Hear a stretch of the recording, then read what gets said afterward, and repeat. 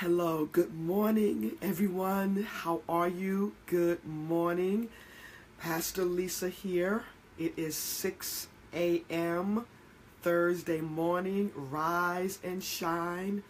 This is the day the Lord's made. We are rejoicing. We are glad in it. We are glad about it. And so, um, hello, Veronica, Ronnie Jackson. Good morning. Good morning. Good to see you.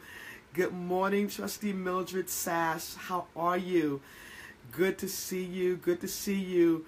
Who else is there? Is there anyone else that's there? I, we've got Sister Ronnie, Veronica Jackson. We've got Mildred Sass. Is there anybody else that's there that we can say good morning to? How are you? It's so good to see you. It's so good to be back. I miss you guys. Hello, Sora Barry. How are you? So good to be back. Uh, you guys really, really hold me to task. And so when I'm away uh, from this venue, I'm just all out of sorts for my day. Good morning, Stacy. How are you doing? No kickboxing this morning, Stacy? Are you going to your kickboxing class afterwards? Yes. Oh my goodness. Thank you so much, Trustee Sass. I love you as well. I love you as well. Thank you so very much. Uh, we are going to go through 40 days, 40 days of decrease, 40 days of decrease. And I met with my church last night. We had uh, an hour, a meditation moment where we discussed uh, what it means to go through the Lenten season. And so I'm grateful uh, for those that came out last night, and I'm grateful for those of you that uh, requested that I get back on board with this. And so um, thank you so much. Uh, is there anyone else that we're missing? So we've got three of you right now. There were four, I think, and um, but we want to make sure that we uh, adhere to your time, that we have some, you've probably carved out uh, a niche of time, and I want to be faithful to your time this morning. And so it was good. I'm glad. I'm glad. And so uh, for those that were not there, Sister uh, Sora Barry was not there, and Stacy was not there. Hello, Sister Doriel. God bless you. Yes, yes, yes, yes. Uh, I'm just going to go over very, very briefly uh, history, so many misconceptions about Lent, and then we're going to get into um, today, today's lesson, today's lesson. Let us have a word of prayer. Father God, we thank you that you are great, that you are Lord, that you are God. Beside you, there is no other. And so we bless you. We don't need another. All we need, Lord God, is you. And so during these 40 days and even beyond, we're asking that you be with us, that you bless us, not for our sake, but for your sake, that we might be the people that you call to do your will and to do your work. These are such challenging times, Lord God. And so uh, we ask uh, that you increase our understanding, increase our knowledge, increase our capacity to learn, increase our capacity to do your will. Uh, Lord, we bless you, we love you, and we thank you for every person that's on this Facebook live venue right now, everyone that's going to be on. We bless you and thank you for them in a mighty and wonderful way. Lord, this is our prayer today, and we say amen in the name of your Son, Jesus we say amen. Amen. Thank you so much. Good morning, Tabitha. God bless you. Thank you for sharing this video with other people. Again, we're not going to be too long for this morning. Uh, we want to just speak to you first about um, the idea of Lent. Many people um, think that Lent is something that is uh, comes from the Bible, that it is uh, something that the Bible tells us to do but uh, it is not. You're not going to find Lent anywhere in the Bible. You're not going to find anywhere where it tells us that we must fast for 40 days uh, prior to the resurrection of our Christ uh, Savior, Jesus Christ. Lent was something that was instituted during the Council of Nicaea during at 325. It was a council that was convened by the Roman Emperor um, Constantinople. And so, thank you so much, Stacy, for sharing. Hello, Beverly. And so, we're just talking about Lent. And uh, how Lent came about during the um, Council of Nicaea at uh, during 325 AD or AD 325 uh, in the year of our Lord 325, and so um, it is something that they came up with that would help the people uh, become more religious, more in tune to Christ. That was uh, the purpose that they said. And so um, many people, uh, for this Lent uh, season, this Lenten season, for many churches, they've been practicing Lent for centuries. For other churches, it is something new. Uh, and so the question that I uh, had, good morning, Sister Laura uh, Timberlake, Sister T, good morning. The question that many of us have had, and me in particular, is um, should we do Lent? Should we celebrate Lent um, if it is not biblical? And uh, I propose that anything that helps us uh, or aids us in our walk with Christ is profitable. Profitable, not money profitable, but profitable to our souls, profitable to our spirits, profitable to us having a closer walk with God. And so the Lenten season, good morning, Glory, the Lenten season is something that helps us to understand who we are. Lent helps us face our realities. Lent is that desert period where we go without something, where we give up something so that we can come to grips with our weaknesses, where we can come to grips with our frailties, so that we can understand that we've got to lean on the Lord and only the Lord. So many of us lean on ourselves. So many of us are independent. We live in the Western culture, and in this Western culture, good morning, cinnamon, cinnamons.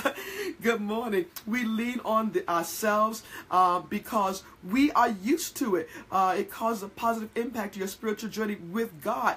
Yes, it does. And so, uh, what we want to do, some have started yesterday. If you've not started your Lenten journey yesterday, that's okay. It's never too late to start.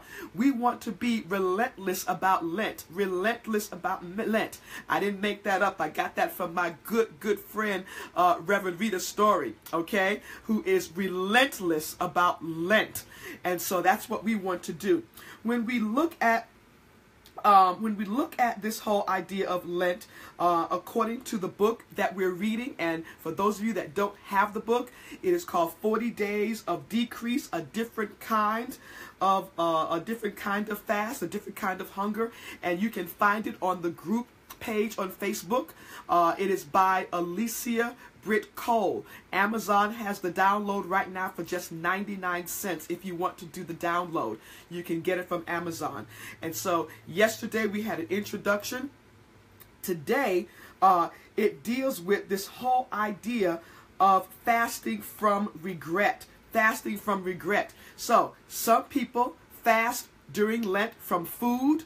Many people uh, fast. Uh, they take up the Daniel fast, which is a fast that you can uh, find online. You can find so much information about the Daniel fast, which deals with um, uh, beans and vegetables, no meat at all, no sugar, no honey, none of that. Okay? Other people fast from television. Some people are fasting from social media.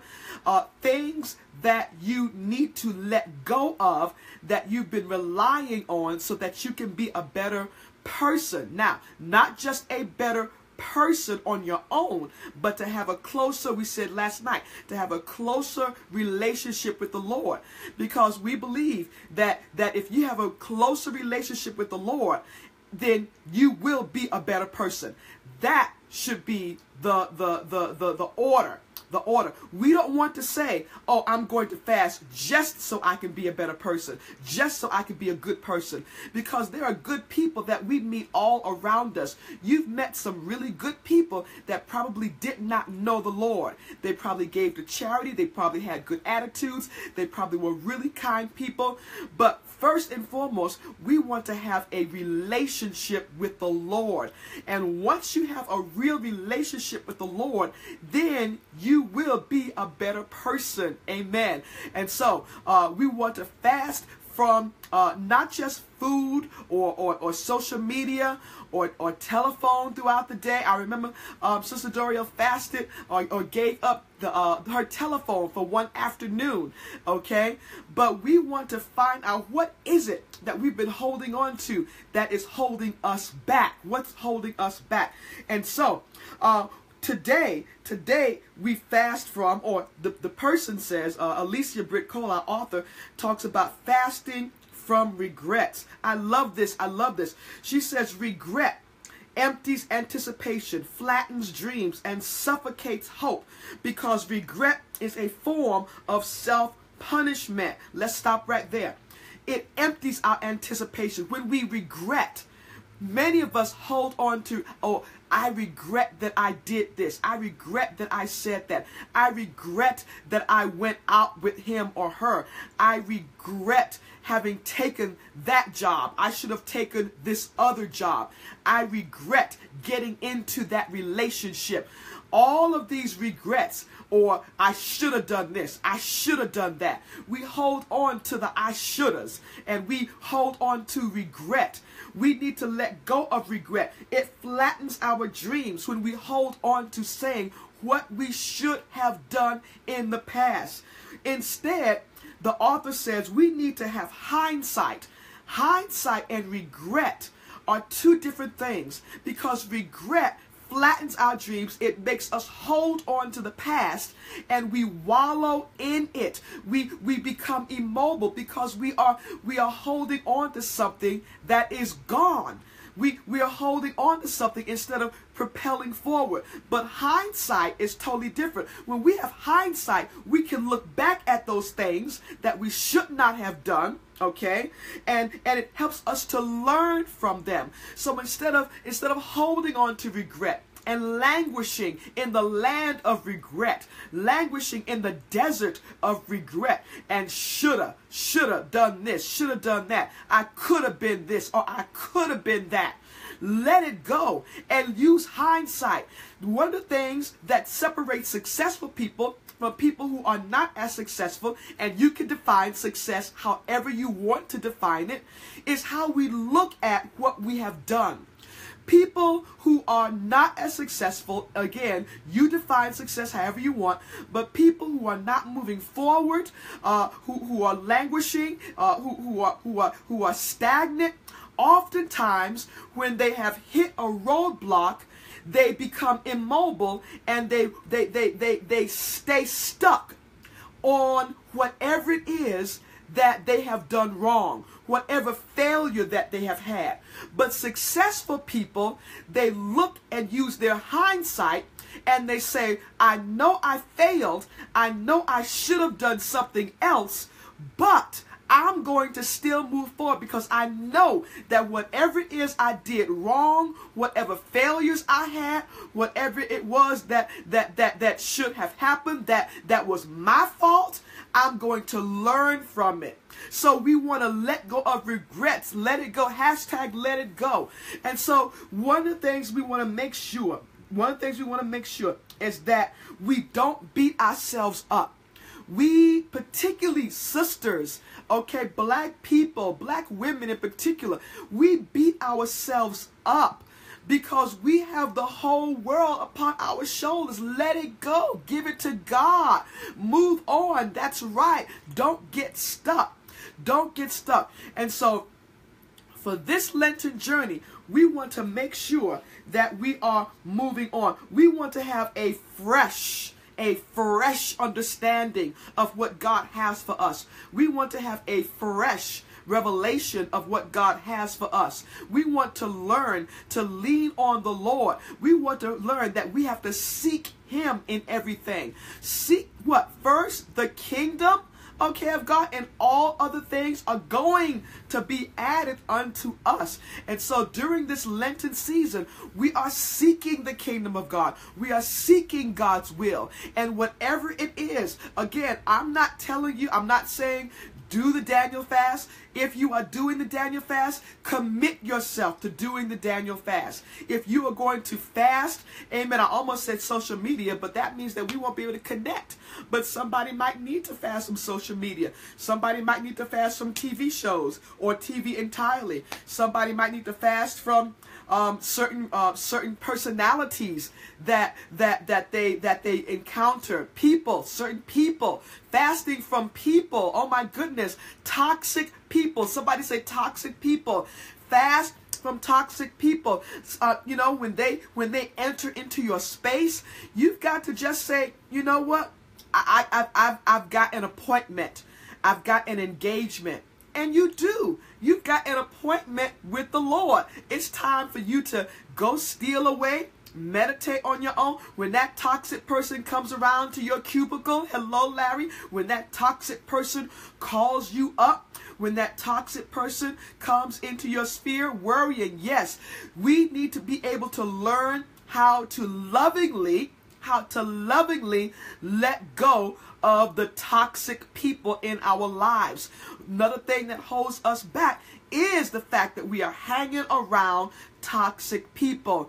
We want to be able to soar with eagles during this Lenten season and beyond. I believe that God is going to give us a great and grand new understanding. And so, looking at looking at our book okay? Looking at our book there's a reading and i'm not going to give you an understand my understanding of the reading. The reading is lovingly let go. That's right. The reading for today is john chapter 12 um 12 through 19 you john chapter 12 12 through 19 love for you to in your time to journal about what that means for you okay? For yesterday yesterday's scripture was John chapter 12, beginning at verse 1.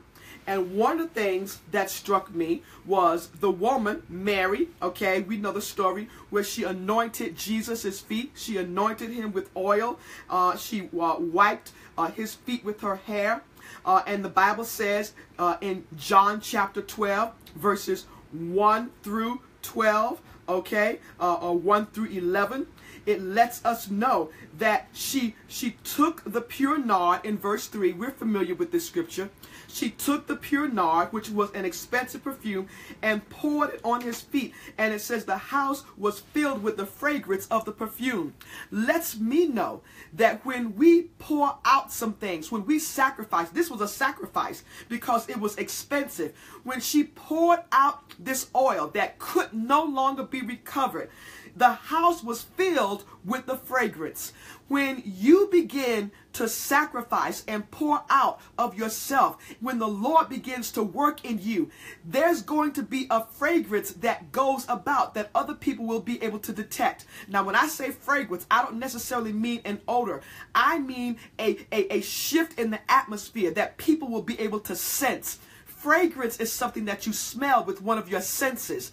And when you begin to change, when you begin to, to, to sacrifice on behalf of the Lord, when you when you commit yourself to to a closer relationship with God, people cannot help but realize that something is going on. There's going to be a change in the atmosphere. And maybe not everybody will understand. Maybe not everybody is going to to to to realize what's happening with you. Some may not be able to discern because they are they're not walking with the Lord and they might not have the gift of discernment. They don't understand. But you have to be strong. Somebody say strong and steadfast in your journey. Some things are going to be difficult. It's going to be difficult to fast from food. It's going to be difficult to give up TV, the phone during certain times of the day. It's going to be difficult to fast from certain people who you've become used to. Some of us have become uh, uh, accustomed to toxic people. Some of us have gotten used to being around toxic people. Okay? Strong and steadfast. A, uh, a shift in your atmosphere. Another thing about this woman, this woman Mary, who we have come to know, uh, remember, she and Martha were the sisters of Lazarus who was raised from the dead.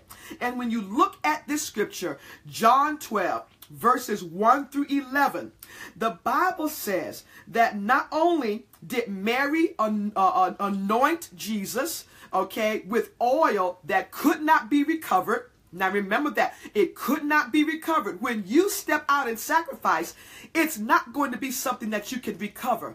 It's it's one of those things where it's a it's a do or die situation. So when you're fasting, okay, when you when when you when you're when you're giving up something, when you are praying to the Lord, when you are seeking his face and direction, you've got to say, Lord, this is a do or die situation. I need to change this so that I can get with you, God. I need to let go of that so I can get with you, God. I need to I need to break this situation in my life that I've become accustomed to so I can get with you, Lord.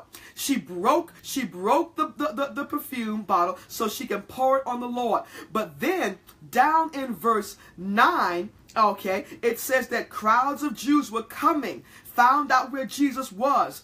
Uh, they came to see Jesus, but also, they came to see Lazarus, who Jesus had raised from the dead. And then verse 10 is the kicker. Verse 10 says, The chief priests made plans to kill Lazarus as well, because on account of him, many of the Jews were going over to Jesus, believing in him. Sisters and brothers, oh my goodness, that is the kicker scripture right there. It says, The chief priests, those who were in high places, those who were so called in charge. The Bible says they tried to kill Lazarus because why? People were coming not just to see Jesus, people were coming to see Lazarus as well. Why? Because God had done through Jesus Christ a great thing in the life of Lazarus. What? Gave him life, raised him from the dead. People had heard that Lazarus had been raised from the dead. And so uh, that they wanted to see this great thing that had been done by God.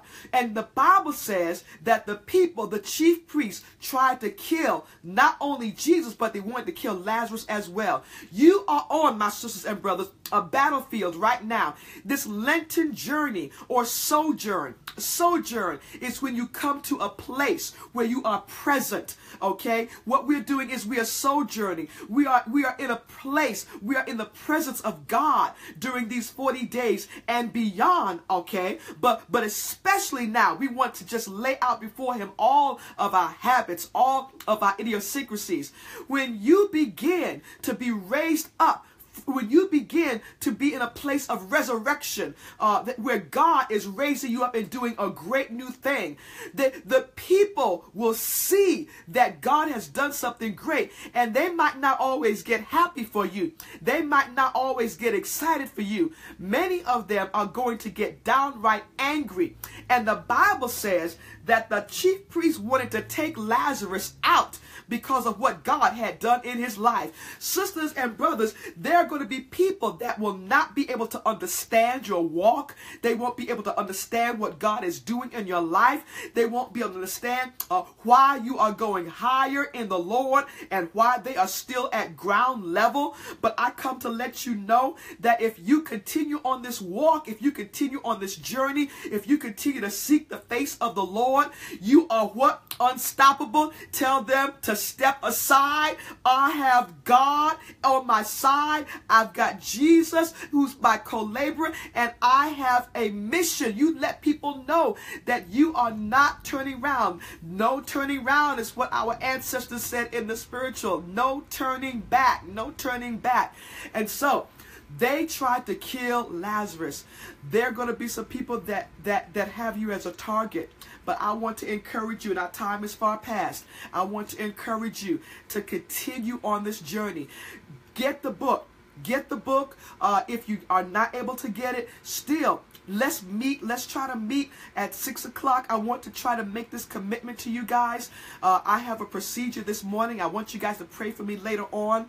Uh, but prayerfully i will be able to still meet you at 6 a.m tomorrow where we can do day three of our 40 days of decrease, decreasing things in our life that, that have been trying to take us down so that we can increase, increase our relationship with the Lord so that we can be about his will and do what he has called us to do. No turning back, no turning back. If this has been a blessing to you, I pray that you uh, tell somebody, that you share it with somebody. Uh, we have now our our Facebook group page was the 21 Days of Freedom. Uh, it has now been renamed to uh, the Lenten Journey, uh, uh, uh 40 Days of Decrease, so we can increase. Many of you are there. Thank you so much, Trustee Sass. Thank you so much. Many of you are already on the Facebook page. Invite someone else. No turning back. God bless you, Pastor Braxton. God bless you. Many of you are already on that page go to that page, join the page, okay, and make sure that you tell someone. God bless you. God bless you. Thank you. You guys have been awesome. Tanya Pleer, God bless you. Uh, Lawrence, we miss you. I love you so much. Thank you so much. Anyone else that I did not get a chance to say hello to in the beginning uh, before we close out? Good morning. Good morning, Tracy. Good morning. Good morning. Uh, I think I got you, Beverly. Good morning, though. I'm so thankful for your prayers, Beverly Warren. I'm so grateful for your prayers. Thank you so very much. Those of you that are on, um, I always tell you that if you have time, go head on over to Pastor Challenger's page. Amen. Tabitha, yes, hello. Yes, please go to the Facebook group page. And um, I always try to post some information during the day as well. Sandra Hopper Williams, God bless you. You are more than welcome. Listen, it's 626. I don't want to hold you. Many of you have to go to work. Many of you have to go to school. You have other obligations. And so I want to be mindful and respectful of your obligations. Let us have a word of prayer. Father, we thank you and bless you for what you've done during this time that we have come together. Thank you, Lord God, for every person that's on this venue, Facebook Live, Lord God, every person that uh, that took time out of their morning just so that we could grow closer to you. During this sojourn, Lord, we want to be in your presence. We want to hear your, your word. We want to seek your will, Lord God. Whatever it is that we are fasting from. Uh, today, we mentioned regret. So many times, uh, we are holding on to regret. Allow us to let it go, Lord God. We don't want to wallow in regret. We don't want to live in regret. Regret holds us stagnant, Lord God. We want to, Lord God, learn from what it is that has occurred in our lives. So give us hindsight. Give us a new lens. Give us a new ability to see what has happened in our lives so that we can learn from it and move forward. Lord God, we believe that with you at, as the wind uh, at our backs, that there's no good thing that you will withhold from us. We thank you, Lord, that during this season of Lent, that we are seeking first the kingdom of God, realizing that all other things are going to be added. Whatever it is that we need, Lord God, we know that you've never seen your seed begging for bread, your righteous forsaken, or your seed begging for bread. We thank you, Lord God, that you are the keeper of us. We thank you, Lord God, that you are the one that holds us in your right hand. Lord God, we bless you for so many things that you're doing, seen and unseen. And so as we leave this place to go on to our jobs, our schools, our businesses, whatever it is that we have in store for today, Lord, we ask that you continue not only to bless us, but keep those who are around us. Lord God, we don't want it to be all about us, but we want it to be about your kingdom. And so we thank you, we bless you, we give you the glory, and we say in the name of your Son, Jesus, our Savior and our friend, we say amen, amen, amen. God bless you guys. God bless you. A couple of you have just joined. Hello, Sister Renee. Thank you so much, for coming out last night. Also, Sister Renee, we God bless you. Sister Kanisha, Kanisha Hall. I think that's my soror. God bless you. Um, I apologize for botching up names. Amen. But uh, I will see you guys, God willing, tomorrow at 6 a.m. Let's try to keep this up, sisters and brothers. And in the meantime, continue to be empowered and continue to remain unstoppable in Christ Jesus. Love you guys madly.